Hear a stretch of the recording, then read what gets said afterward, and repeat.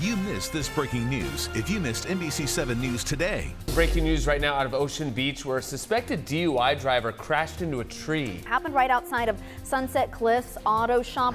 And there's crash on the 15 southbound. So if you are in the North County, maybe it's a better idea to go over the 5. The defense attorney for Chief Eddie Gallagher is due back here at Naval Base San Diego. Take a look at this video. You can see the man going from house to house trying to break into cars. Watch tomorrow starting at 4:30 a.m.